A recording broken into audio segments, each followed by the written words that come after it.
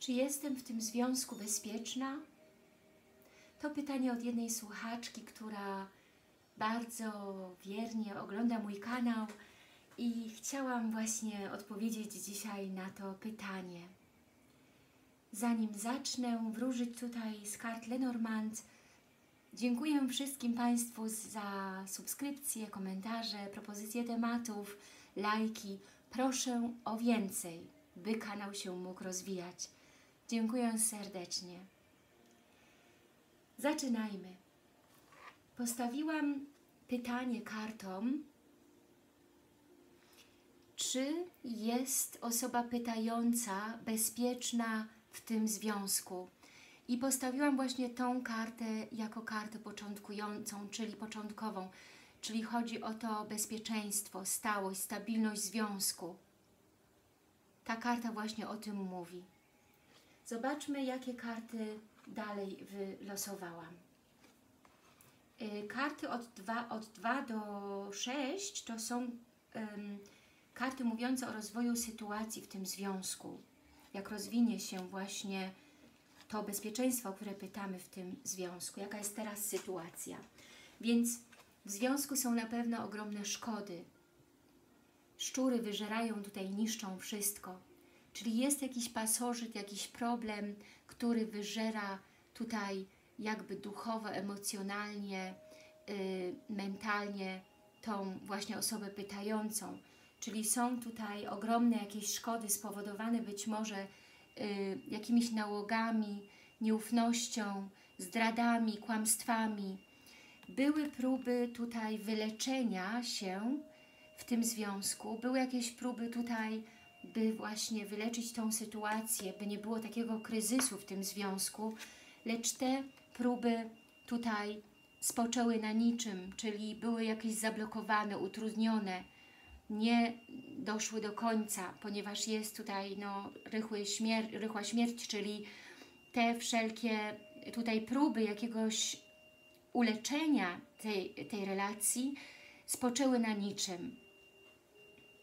Jest tutaj karta śmierci, czyli te, te próby wyleczenia właśnie być może z tych nałogów czy z tych kryzysów niestety nie udały się. Jest nadal jakieś zaproszenie od partnera do rozmów, do spotkań, by wyjaśnić tutaj tę sytuację. Tutaj jest ten mężczyzna, który jest na pewno jakimś tutaj powodem tych zaistniałych sytuacji, o którego właśnie tu osoba pytająca pyta czy w związku z nim może być bezpieczna. Są tutaj od tego y, mężczyzny jakieś próby uleczenia sytuacji, zaproszenia właśnie do spotkania wyjaśniającego, do następnych prób zmienienia tej sytuacji, ponieważ osoba pytająca nie ufa właśnie tutaj temu partnerowi. Zobaczmy sobie teraz kartę numer 7. Karta numer 7 to jest odpowiedź kart na nasze konkretne pytanie, czy jestem bezpieczna w tym związku? Karta jadowitej żmii. Więc ta karta jest, nie ukrywam, e, negatywną kartą w talii Lenormand. Mówi o komplikacjach, o zawiłościach, o jakichś takich obietnicach, które zostaną tylko obietnicami i mówi o tym, by uważać, ponieważ jest niebezpieczeństwo. Czyli musimy być ostrożni. Ta karta ostrzega nas przed jakimś niebezpieczeństwem. Ta karta mówi też o jakichś zawiłościach, czyli zawiłej drodze do osiągnięcia sukcesu i do osiągnięcia jakichś zmian w tej relacji. Y, by dojść do celu zmiany w tej relacji, bezpieczeństwa, stabilności potrzebujecie niesamowicie długi czas, ponieważ są stałe komplikacje i zawikłania. Dlatego jest opóźnienie właśnie osiągnięcia tego celu. Y, może to też y, oznaczać jakąś rywalkę, konkurentkę, czyli osobę trzecią w związku, jakieś zdrady, kłamstwa, fałsze. Osobę, która jakby niszczy Wasz związek, wtrąca się i tutaj powoduje no, wszelkie szkody na Waszym małżeństwie czy Waszym związku.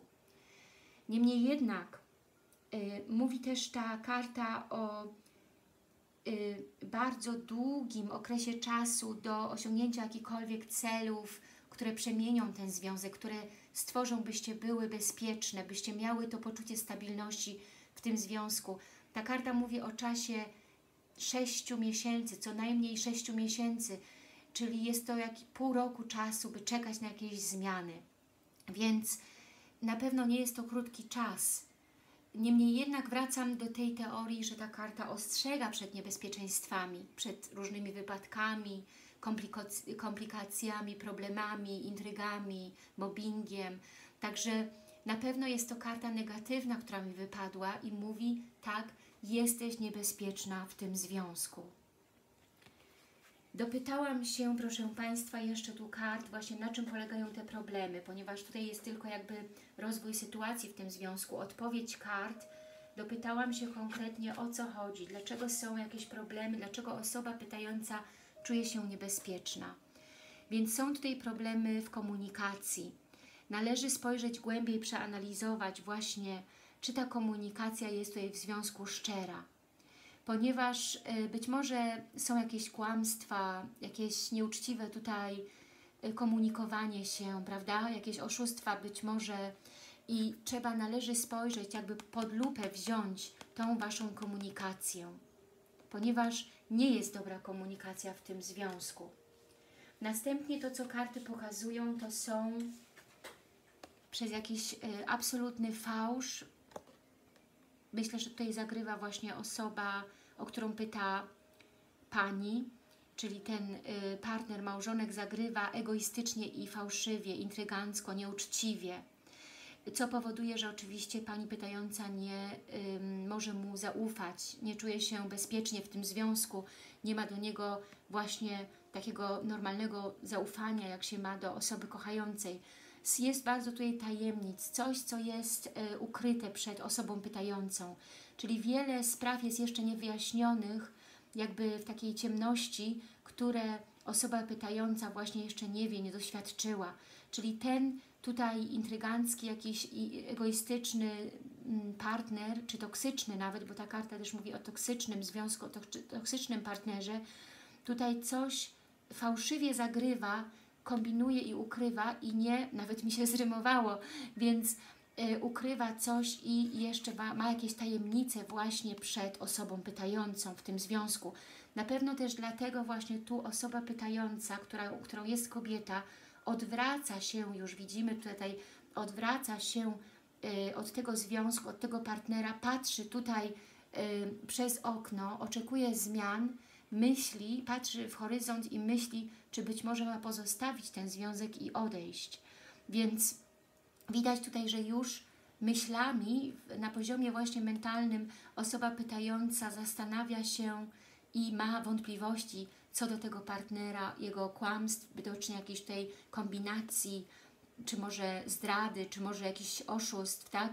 czy może właśnie jakichś nałogów, o których wcześniej e, wspomniałam i czuje, że właśnie coś jest nie tak, czuje, ma też intuicję, bo też jest karta intuicji, ma intuicję i myśli bardzo tutaj głęboko, być może nawet wieczorową lub nocną porą, czy ma odejść i zostawić to, ponieważ nie czuje się bezpieczna właśnie w tej relacji.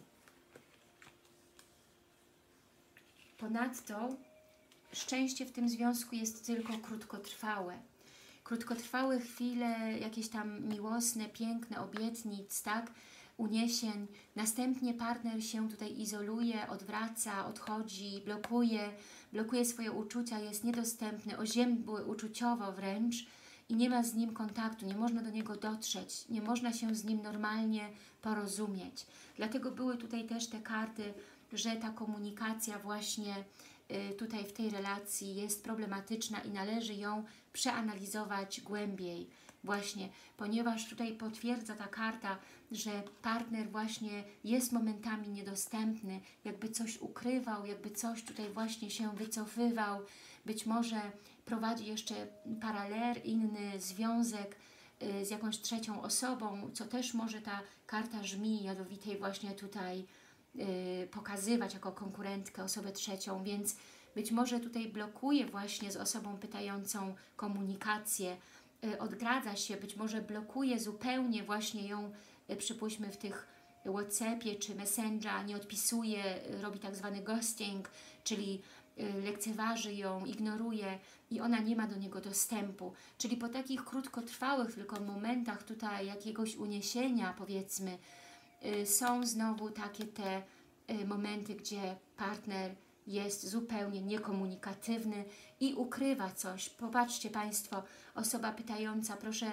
niech zauważy, że ta y, książka jest zamknięta tutaj tą stroną, więc partner zamyka jakieś tutaj tajemnice, ma jakieś tajemnice, które tutaj są ukryte, które są zamknięte tutaj w tej książce pod kluczem, y, blokuje się i ma właśnie jakieś niewyjaśnione, niewyjaśnione sprawy, tajemnice, które nie chce y, tutaj wyznać i nie chce, by osoba pytająca dowiedziała się o tych sprawach, co, o czym mówiła już ta karta, więc jego fałszywe jakieś tutaj zagrania nie chce, by wyszły na jaw.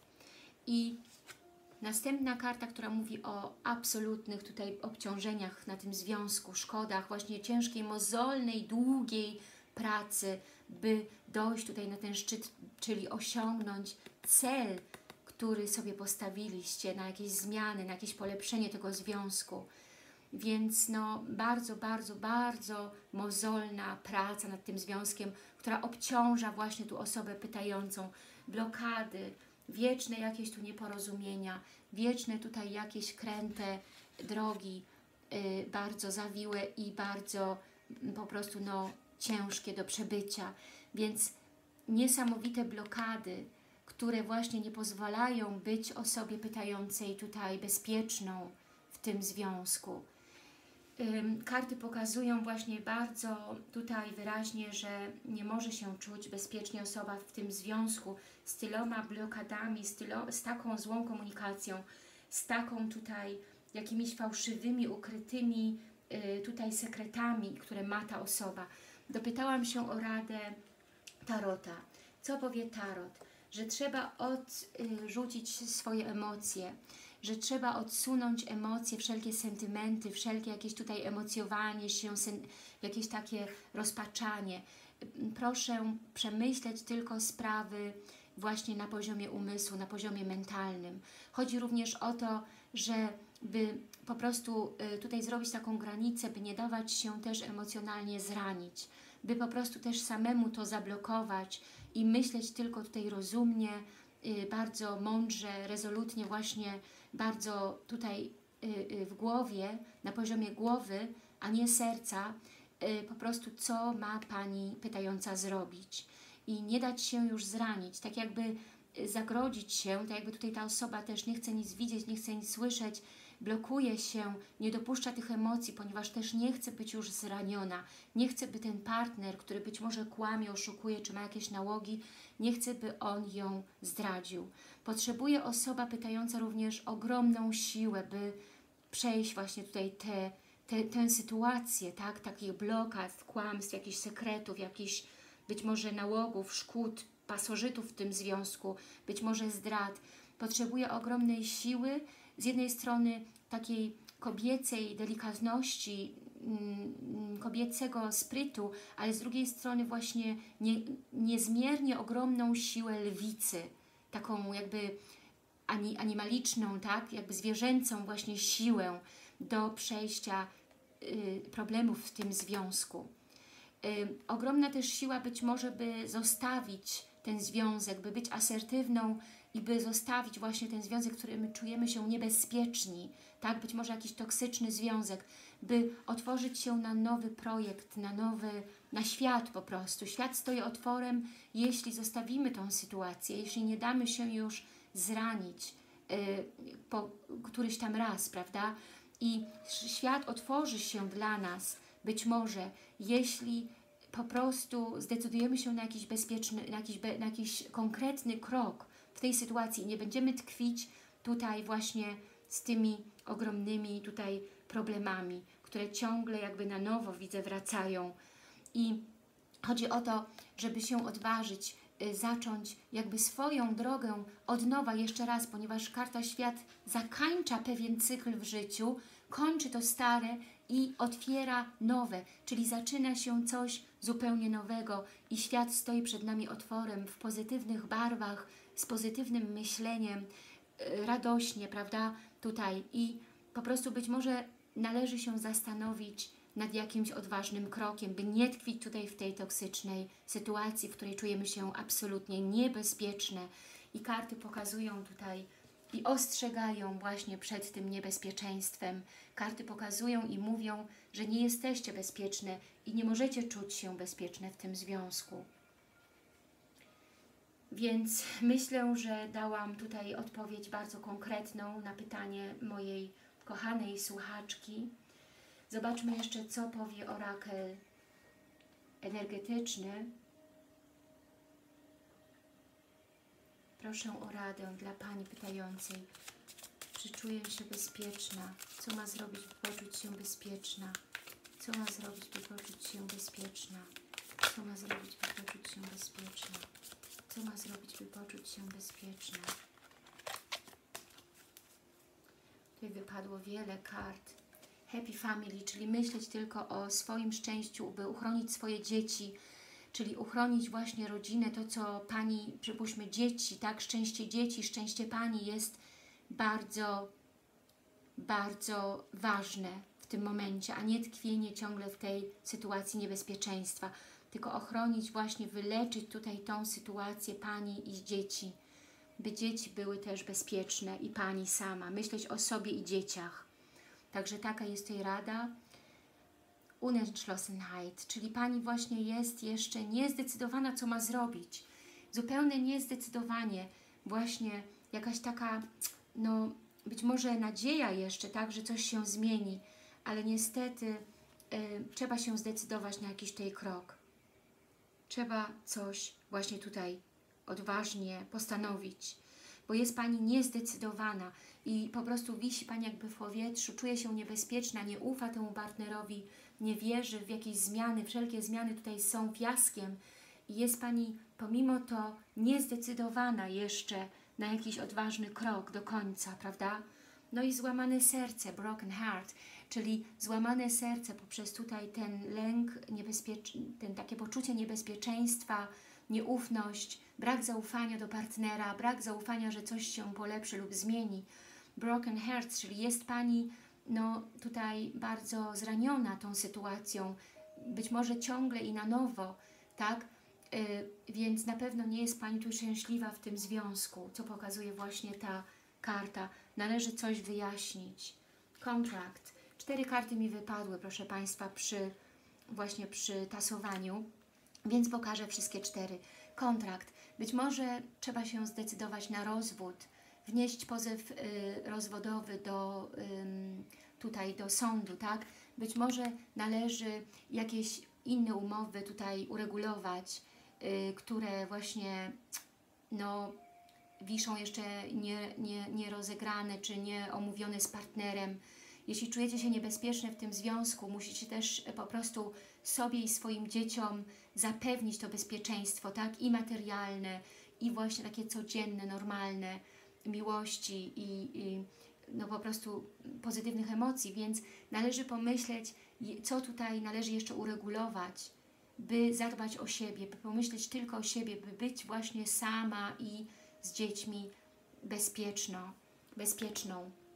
Więc tutaj proszę uregulować jakieś y, tutaj umowy, y, pisma, sprawy, tak, być może czy sądowe, czy notarialne, czy po prostu szybko znaleźć pracę, by być niezależną od partnera i po prostu by y, czuć się sama za siebie odpowiedzialną, bezpieczną i za dzieci oczywiście, ponieważ wiadomo, trzeba myśleć o swoim i dzieci, dzieci szczęściu, a jeśli partner właśnie tutaj coś ukrywa, kłamie, nie, nie, za, nie, nie gra po prostu w tym związku uczciwie, tak, to należy myśleć o sobie i o dzieciach. Taka jest tutaj konkluzja tych kart. Myślę, że konkretnie dotknęłam tutaj tego tematu. No niestety nie jest taka odpowiedź zawsze, jak sobie Państwo życzą, ale ja przekazuję tylko to, co karty mi tutaj pokazują. I ja bardzo skoncentrowana jestem zawsze na tasowaniu kart, dlatego robię to przed włączeniem kamery, by po prostu te karty mi tutaj same właśnie odpowiednio wypadały.